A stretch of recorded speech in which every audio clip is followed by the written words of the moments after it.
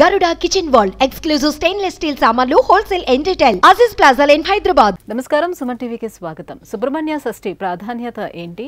సుబ్రహ్మణ్య స్వామిని ఆరాధించడం వల్ల ఎటువంటి దోషాలు తొలగిపోతాయి? ఆ స్వామివారిని ఎలా ఆరాధన చేయాలనే అంశాన్ని తెలియజేసేందుకు మనతో పాటు ఉన్నారు ప్రముఖ ఆధ్యాత్మికవేత్త జ్యోతిష్య పండితులు బ్రహ్మశ్రీ సుభాష్ శర్మ గారు. గురుగారు నమస్కారం. శ్రీమాత్రి గురుగారు ఈ మార్గశిర మాసం షష్ఠి శుద్ధ షష్ఠి రోజున సుబ్రహ్మణ్య షష్ఠి వస్తుంది. సుబ్రహ్మణ్య స్వామిని ఈ రకంగా మనం ఆరాధన చేసుకోవాలి. ఆ స్వామివారిని ఆరాధన చేయడం వల్ల ఎలాంటి దోషాలను మనం తొలగించుకునే అవకాశం ఉంటుంది? తప్పకుండా తెలియజేస్తున్నాము. ముందుగా ప్రేక్షకులందరికీ శ్రీమాత్రే నమ శ్రీ గురుభ్యో నమ. నమో దేవ్యై మహాదేవ్యై శివాయై సతతం నమ. నమ ప్రకృత్యై భద్రాయై నిహతాం ప్రణతాస్మిత.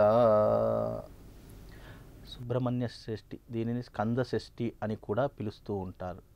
అయితే ఇక్కడ షణ్ముఖుడు అనేటటువంటి పేరుతో కూడా పిలుస్తుంటారు. అంటే ఆరు ముఖములు కలిగినటువంటి వాడు సుబ్రహ్మణ్య స్వామి. సుబ్రహ్మణ్య స్వామిని ఒక్కసారి తలుచుకుంటే అతని శరీరం మీద ఉన్నటువంటి ఆభరణాలన్నీ కూడా సర్పముతో కూడుకున్నటువంటి ఆభరణాలు ఉంటాయి అంటే ఈ సర్పాలకు అధిదేవత కూడా సుబ్రహ్మణ్య స్వామిని కూడా పూజిస్తూ ఉంటారు.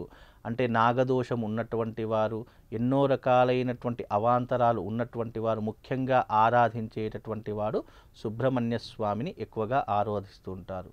అయితే జీవితంలో ఎప్పుడైనా ఒకటి గుర్తుపెట్టుకోండి. జీవితంలో నాగదోషం ఉంది లేదా జీవితంలో వివాహం కావట్లేదు జీవితంలో సంతానం కావట్లేదు జీవితంలో అభివృద్ధి రావట్లేదు డెవలప్మెంట్ కావట్లేదు అని అనుకుంటే గనక సుబ్రహ్మణ్య స్వామిని ఆరాధించడం ద్వారా వ్యతిరేకతలన్నీ కూడా తొలగిపోయే అవకాశము చాలా మట్టుకు మనిషి జీవితంలో ఏర్పడుతుంది. సుబ్రహ్మణ్య స్వామిని దేవతలను కొలిచే విధానాలు సనాతన ధర్మంలో చాలా విధానాలు చెప్పారు. కానీ అన్ని విధానాలు అందరూ అలవర్చుకోలేరు. కాబట్టి సులువైనటువంటి విధానము సులువైనటువంటి మార్గము సుబ్రహ్మణ్య స్వామిని ఆరాధించేటటువంటి మార్గాలు ఎన్నో రకాలుగా సనాతన ధర్మం మనకి ఏర్పరిచింది. అయితే దీనిని కొంతమంది వ్రతరూపకంగా ఆరాధిస్తూ ఉంటారు. దీనిని సుబ్రహ్మణ్య షష్ఠిని వ్రతరూపకంగా ఆరాధిస్తారు. ఆ రోజున స్వామివారికి అభిషేక రూపకంగా ఆరాధిస్తారు. కొంతమంది నియమపూర్వకంగా ఆ రోజున ఎవరికైతే వివాహం కాలేదో ప్రత్యేకంగా మంగళవారం రోజున సుబ్రహ్మణ్య స్వామిని ఆరాధించడం అనేటటువంటిది ఒక అనాదిగా మనం పెట్టుకున్నటువంటి ఆచారం. అయితే ఈసారి రెండు వేల ఇరవై మూడులో మార్గశిర మాసంలో మనకు పద్దెనిమిదవ తారీఖు రోజు సోమవారం రోజున రావడం జరుగుతుంది. అంటే ధనుర్మాసం ప్రారంభమైనటువంటి తెల్లవారి నుండే మనకు సుబ్రహ్మణ్య షష్ఠి అనేటటువంటిది ప్రారంభమవుతుంది.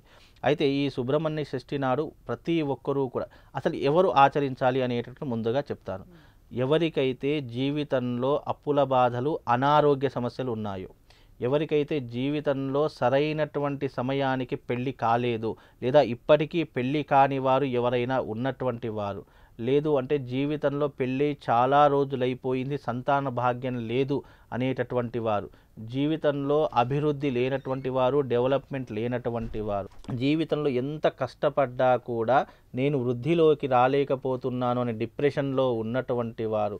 ఇలా ఉన్నటువంటి ప్రతి ఒక్కరూ కూడా ఈ షష్ఠి నాడు ఆరాధించవలసింది ఏమిటి అంటే గనక సుబ్రహ్మణ్య స్వామి దేవాలయం ఎక్కడైతే దగ్గరలో ఉంటుందో అక్కడికి వెళ్ళి ప్రత్యేకంగా స్వామివారికి అభిషేకాది క్రతువులు గనక ఆరాధించిన లేదు అంటే ఆ రోజున వీలైతే ఎవరి ఇంట్లోనైనా వాళ్ళు యజ్ఞయాగాదులు నిర్వహించిన దాని యొక్క ప్రభావం వల్ల జీవితంలో వచ్చేటటువంటి వ్యతిరేకతలన్నీ కూడా తొలగిపోయేటటువంటి అవకాశము ఈ సుబ్రహ్మణ్య షష్ఠికి చాలా తప్పకుండా కలుగుతుంది. ఇది చాలా మట్టుకు ఈ విధానాన్ని కేరళ కానీ కర్ణాటక కానీ ఆ ప్రదేశాలలో ఎక్కువగా ఆరాధిస్తూ ఉంటారు. తమిళనాడు ప్రాంతాలలో కానీ ఈ సుబ్రహ్మణ్య షష్ఠిని చాలా అంగరంగ వైభవంగా ఆరాధిస్తూ ఉంటారు.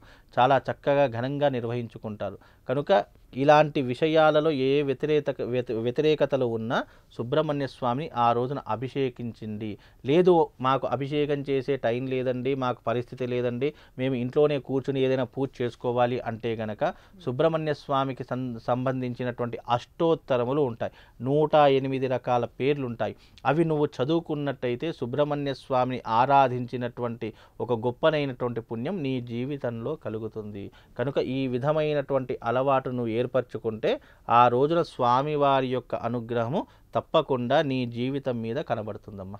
ఇక్కడ ఏంటంటే మనకి చాలా గుడుల్లో జంట నాగులు రావి చెట్టు కింద పెడుతూ ఉంటారు. దాన్నే సుబ్రహ్మణ్య స్వామి అని కూడా ఆరాధన చేస్తూ ఉంటారు. అది తప్పు. అది అది కరెక్ట్ అయినటువంటి పద్ధతి. జంట నాగులు ఉన్నటువంటివి ఏమిటి అంటే దాని సంతాన నాగేంద్రులు అని అంటారు.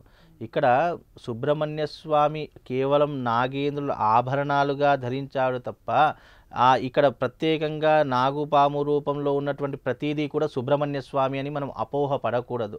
ఇక్కడ నాగ నాగరాజులు ఏవైతే ఉన్నాయో మనం ఏవైతే జంట నాగుల్ని పూజిస్తున్నామో ఈ నాగులన్నీ కూడా ఆ జాతికి సంబంధించినటువంటివి. దాని సంతాన నాగేంద్రులు అని పిలవడం జరుగుతుంది.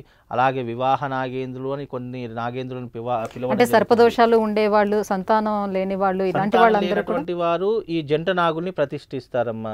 వివాహం కానటువంటి వారు ఈ నాగుల ప్రతిష్ఠ అనేటటువంటి చేస్తుంటారు. దీంట్లో ఎన్నో రకాలైనటువంటి క్రియలు ఉన్నాయి నాగ ప్రతిష్ఠ చేయడం ఒక పద్ధతి ఆశ్లేష బలి చేయడం ఒక పద్ధతి సర్పశాంతి చేయడము ఒక పద్ధతి. ఇలా ఎన్నో రకాలైనటువంటి పద్ధతులతో కూడుకున్నటువంటిదే ఈ యొక్క నాగదోషము అన్నదానికి పేరు. దీనిని ఎన్ని రకాలుగా చేసినా చిట్ట చివరకు ఇవన్నీ కూడా ఎవరి దగ్గర చెందుతాయంటే మళ్ళీ సుబ్రహ్మణ్య స్వామికి చెందుతాయి. అందుకే కుక్కీలో ఇప్పటికీ కూడా ఎన్నో రకాలైనటువంటి క్రియలు ఎన్నో రకాలైనటువంటి ఆచరణలు ఆచరిస్తారు. కాబట్టి ఇవి కొన్ని కొన్ని పుణ్యక్షేత్రాలలో ఏంటి అంటే అవి ఇప్పుడు కాదు. కొన్ని వందల ఏళ్ళ నుంచి ఆచరిస్తున్నటువంటి విధానాలు.